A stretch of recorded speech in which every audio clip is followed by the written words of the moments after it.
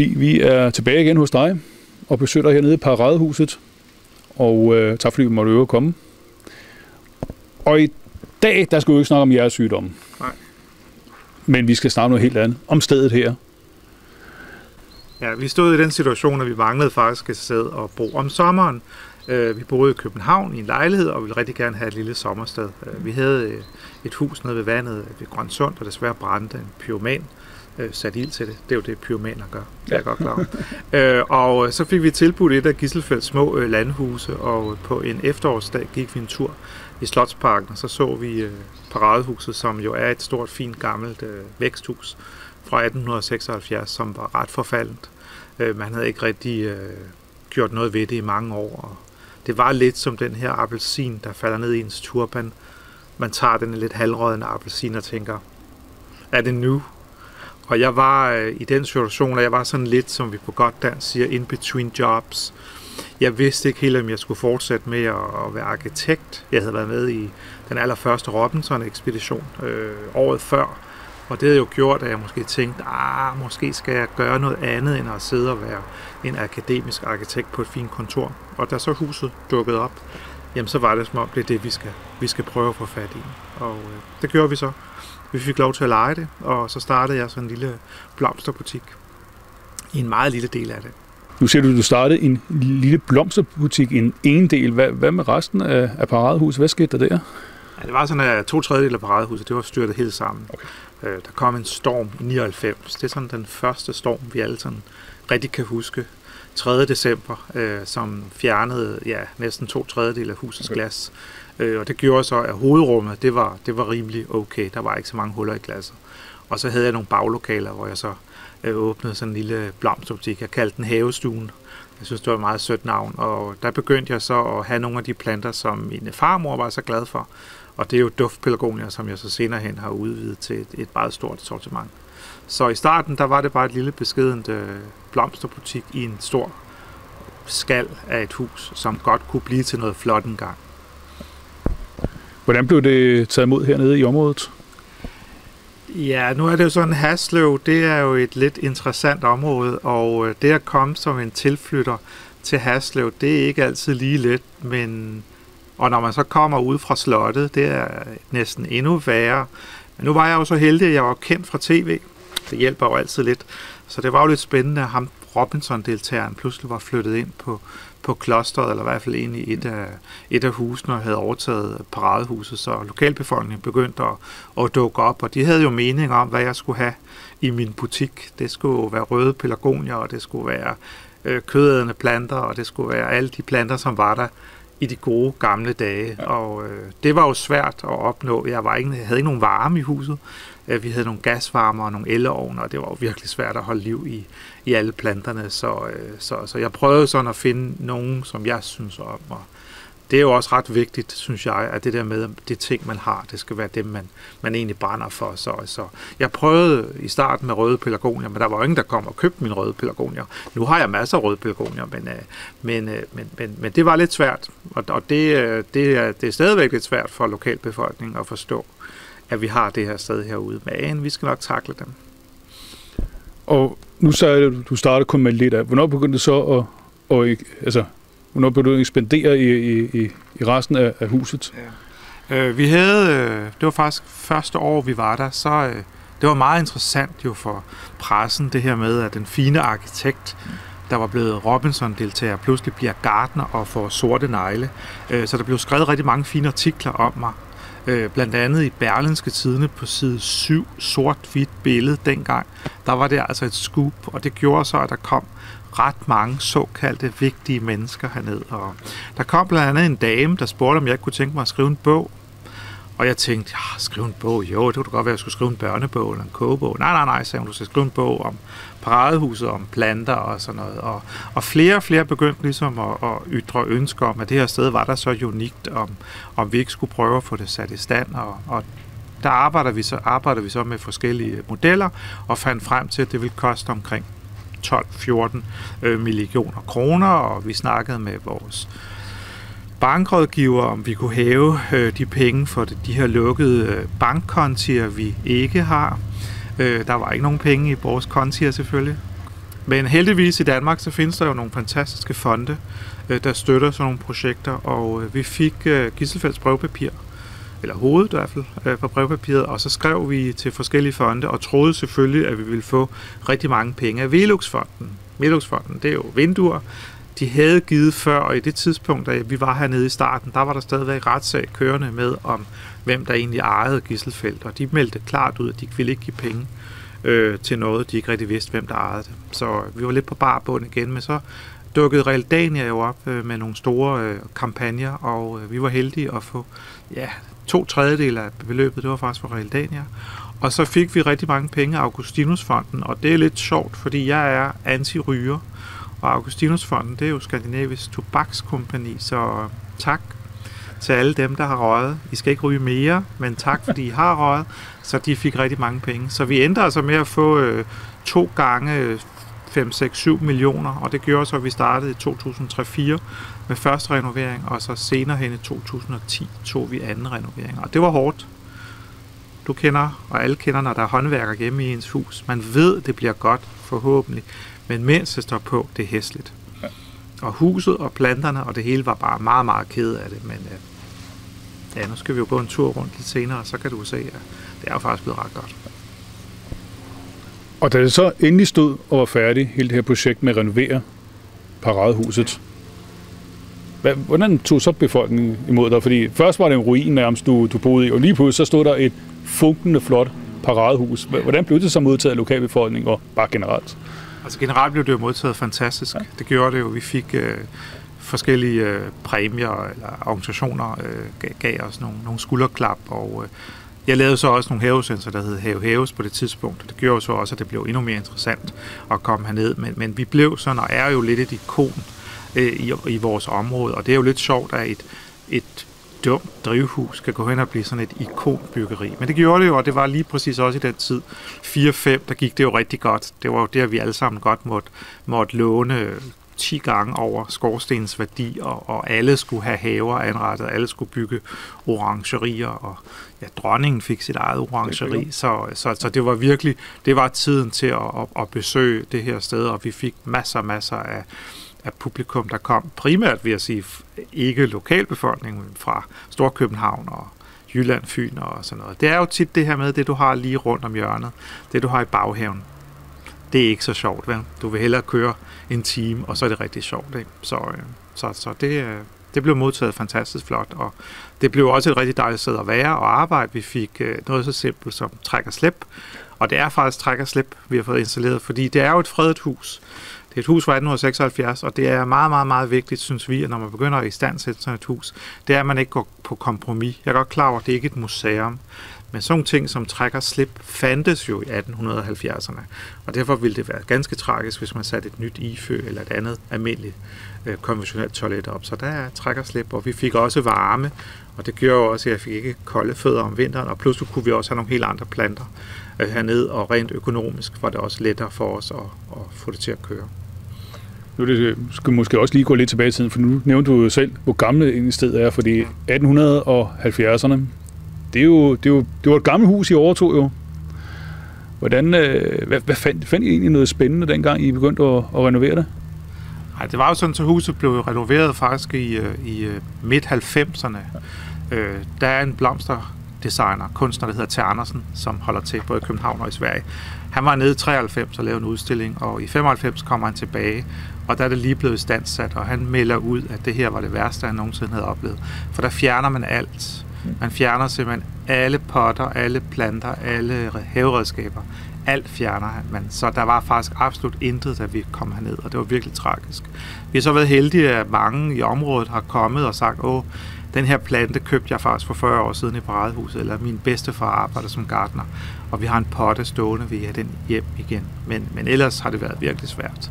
Øh, vi har søgt desperat efter at få fat i nogle kurve, som Gisselfeldt havde specielt lavet kurve, og jeg ved, der findes en dame, der har nogle, men hun vil ikke af med dem. Og det er lidt trist jo. Så. Men det kan jo være, at I måske er heldige at arve dem på et tidspunkt. Det ved man aldrig. Det kan være, at hun øh, ser det her, så kan det være, at hun vender tilbage. Ja. Men udover at det selvfølgelig er et sted, hvor man kan komme og købe blomster, man kan se gamle blomster, især pelargonier og duftpelargonier, ja. og sjældne planter, så er der også noget mere her, for der er en lille butik, og så er der din øh, tegnstue her også. Hvordan kan være egentlig finde på at øh, lave en lille butik med, og en tegnstue kombineret med det her?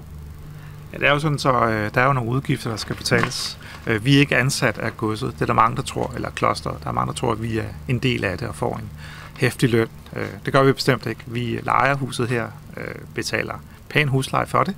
Øh, og for at få det dækket, jamen, der skal vi så finde ud af forskellige muligheder. Øh, da vi startede sin tid, der, havde, der beholdt Greg, som jeg bor sammen med og er blevet gift med, han beholdt sit job inde i Tivoli, hvor han var landskabsarkitekt, og øh, der havde han en god løn.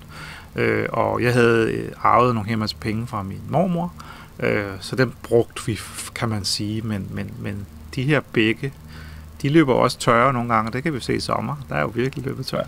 Øh, og så finder man også ud af, hvad kan man så, og jeg vil sige, desværre har jeg et, øh, og Greg også, vi har et fantastisk shoppegen. Vi elsker at købe ind, og vi startede faktisk hele vores drøm om at lave en butik ved, at vi rejste bare rundt i Indien og Pakistan, og der købte vi enormt mange ting. Når vi så kom hjem, så lavede vi sådan en pop-up indisk-pakistansk butik i vores lejlighed i København, og det gav ligesom blod på tanden til, hmm, måske skulle vi rejse ud igen og så lave butikken også hernede.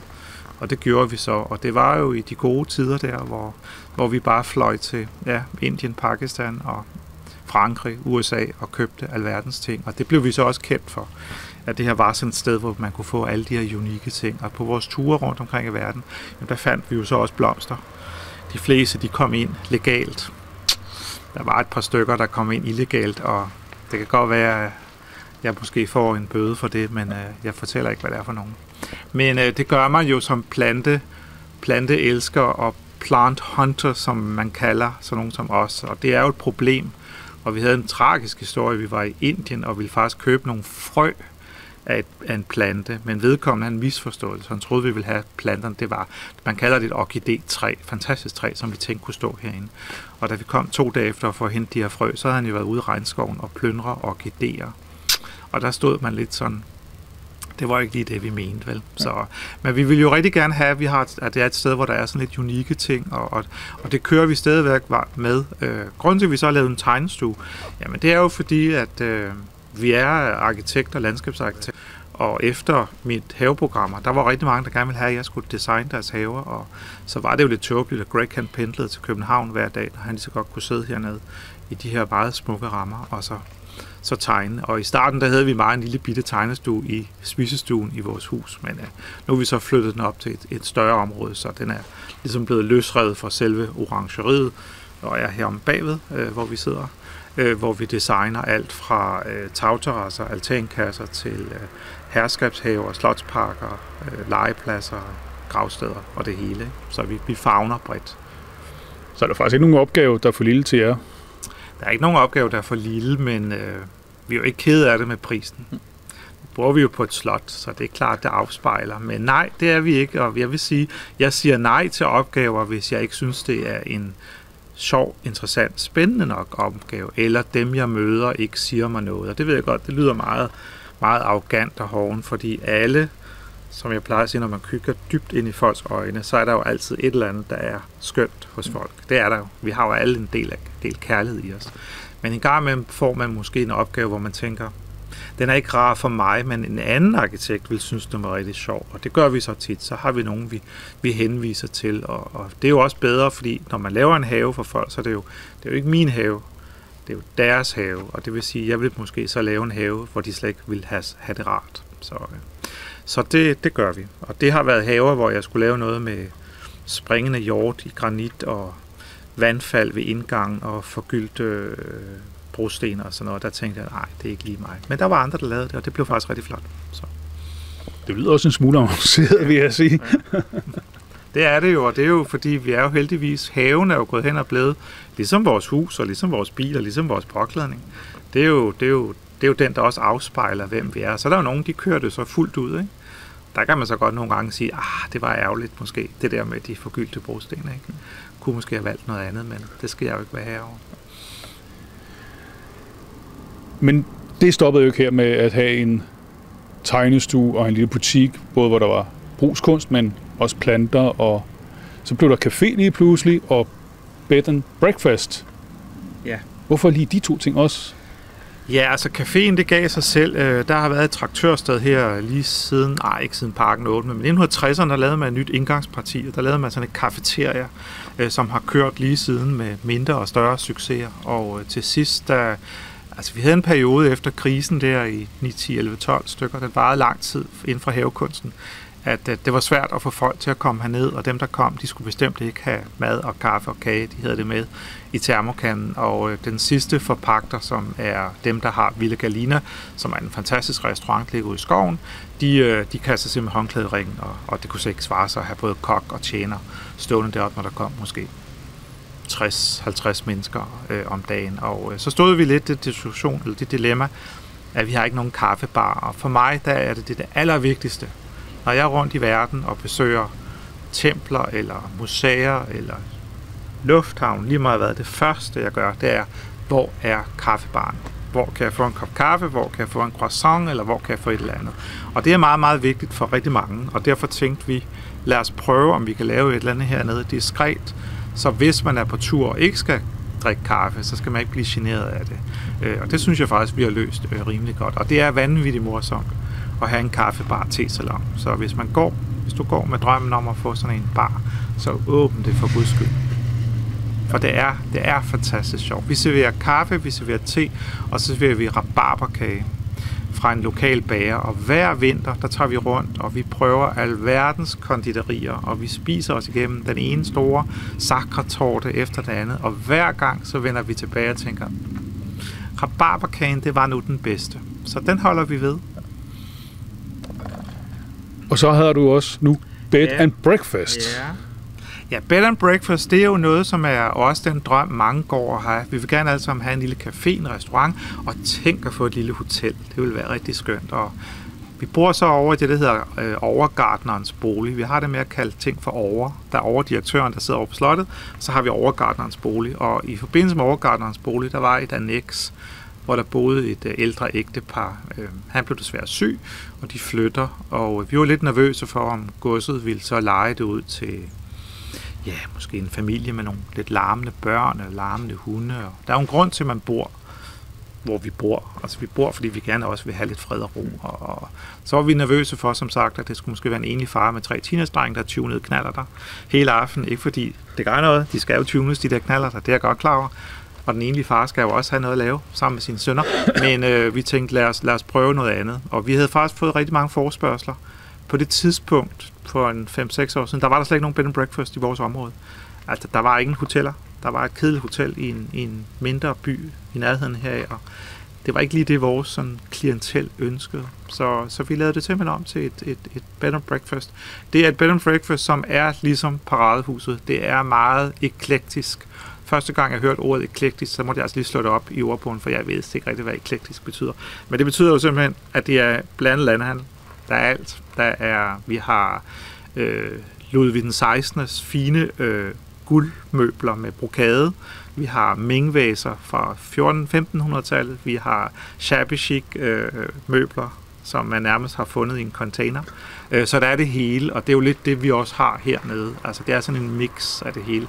Og det er også igen vanvittigt morsomt. Øh, I dag har vi lige haft et øh, kinesisk par fra Beijing, der kom i deres øh, kæmpe store øh, øh, Mercedes, de selvfølgelig havde lejet, da de landede i Kastrup Lufthavn, og de var jo fuldstændig målløse over, at der fandtes sådan et sted, og de blev ved med at spørge, jamen, hvor er lyden? Så sagde jeg, hvad mener I, hvor er lyden? Jamen, de kunne ikke høre noget, der var jo ikke, der var ingen lyd af biler, fly, der var ikke noget, der var bare fugle og alt det andet, så for dem var det jo en fantastisk oplevelse, og det er jo det, vi gerne vil give folk, øh, også at man ikke kun har oplevelsen måske en time, to timer, efter vi har fået nattergalen, som vores café hedder.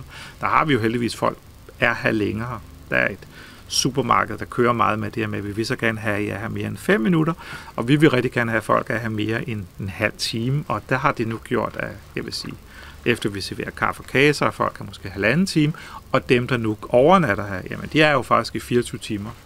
Og de får så det hele. Og det, der er jo unikt hernede, det er, at øh, parken, eller haven, som vi kalder den, den er åben for vores øh, bed and breakfast gæster. Og det vil sige, at man kan gå tur om natten, altså kl. 11. En sommeraften er det jo fantastisk. Vi har nattergale, og det er meget, meget romantisk. Så hvis man har brug for Så et lille hideaway, getaway, ny kæreste, gammel kæreste. Hvis flammen skal brænde igen, så skal man bare komme herned. Diskretion er en æresag, så også vil jeg også lige sige. Så. Jeres åbningstider her er jo lidt anderledes, fordi I har åbent i sommerhalvåret, og så er I kun åbent sådan i weekenderne, som jeg har forstået på det, og så når der foregår noget over ved siden af, hvor det store fine ridehal derovre. Hvordan, øh, hvordan er det egentlig at så drive en virksomhed på den måde? Ja, virksomheden, det er jo... Jeg plejer at sige, når jeg sådan er ude på, på indkøbsrejser eller sådan noget, jeg har rigtig mange kasketter. Det kan være lidt frustrerende for folk, når jeg snakker med dem, fordi jeg, jeg arbejder lidt for en lokal tv-station, jeg skriver lidt i nogle måske blade og bøger, vi køber ind til vores tegnestue, det vil sige, vi køber ind til store projekter, vi køber ind til vores butik, vi køber ind til os selv, fordi vi samler os. Ja. Øh, og det gør jo så, at når vi ikke har åbent her, jamen, så er der rigtig mange af de andre ting, der så kører på fuld skrue. Og det vil sige, at tegnestuen, den kører jo non-stop. Øh, efter jeg blev syg, jeg er jo hjertetransplanteret, øh, der droslede jeg ned fra tegnestuens side, kan man sige. Der var jeg meget mere engageret. Men om vinteren, hvis jeg ikke er for dårlig, for det er et problem med at have et nedsat immunsystem. Det er, om vinteren bliver vi tit sløje, det gør alle andre også, men jeg bliver ekstra sløj. Men så sidder jeg mere på tegnestuen. Men selvom vi lukker øh, ned for publikum, så er der jo ikke lukket ned for planterne. Og det er jo det, der jo er både et dilemma, men også skønt, at planter kan man jo ikke bare lukke ned for at sige, sorry, jeg kommer om en uge, pas nu på, du må du ikke visne, vel? Så, så er det godt vejr, og det kan også være om vinteren, og der er jo, det er jo et problem, fordi vi kalder det et orangeri, men det er jo ikke et rigtigt orangeri. Det er jo et drivhus, og drivhus, når solen skinner en vinterdag, der er minus 5 grader, der bliver rigtig varmt inde i huset, og det vil sige, at de små pelagoner, de tænker, ja, yeah, det er forår, mm. nu skal jeg skyde, og så skal de jo have vand. Så derfor skal det jo passe hele tiden faktisk. Ikke? Men øh, efter en sommer, det lyder måske lidt grotesk, men man er også lidt, man er jo ikke træt af gæster, men man tænker også, nå, det bliver måske meget rart, og det, det er jo derfor, jeg også kan sidde nu og snakke så lang tid med dig. For ellers ville jeg jo løbe rundt og skulle, skulle hjælpe folk. Så nu har vi jo kun weekend åben helt frem til oktober. Så holder vi så et noget halloween halløj i efterårsferien eller høstfestdage. Men, men, men det er nu meget rart. Så får jeg tid til alt muligt andet. Ikke? Og jeg får også tid selvfølgelig til at undersøge og finde ud af, hvad skal jeg have i min butik? Hvad skal jeg have i min café? Hvad skal jeg have i min bed and breakfast? Hvad er det, vi skal lave til næste år arrangementer? Fordi vi vil rigtig gerne også have, at der sker ting hernede. At man ikke bare kommer og kigger på tingene. Vi har, af og til har vi øh, udstillinger af kunst. Øh, vi arbejder lidt med et galleri. Vi har lidt et galleri en gang imellem hernede. Det er sådan lidt svært nogle gange at finde ud af, hvornår vi har det. Øh, vi holder her til efteråret, der holder vi sådan en fransk loppemarked, hvor mange af de ting, jeg sådan har købt igennem året, dem sælger jeg så ud dernede. Og det, det kræver jo også noget tid. Og der er det rigtig rart, at vi har lukket om hverdagen. Der er også ting, der skal, der skal repareres. Der skal males, og der skal gøres ting. Det gør jeg jo så personligt ikke selvfølgelig. Det er klart, der er jeg folk til. Men der skal jo også ordnes forskellige ting. Så jeg vil sige, det der med, at man troede før i tiden, at nu lukkede vi, og så kunne man bare ligge på divanen, den, den, den holder altså ikke rigtigt. Vores drøm var lidt om vinteren, der skulle vi have taget tre måneder til Bahamas. Ja, vi har altså ikke været nede nu, og nu er det altså 17 år siden, vi startede. Men Bahamas flytter sig jo ikke. Nej, forhåbentlig ikke i hvert fald. Så det er en fuldtids beskæftigelse det her sted. Ja. Men uh, Stig, skulle I prøve at gå en lille tur ind i garneriet og kigge? Det synes jeg er en god idé. Det synes jeg også. Ja.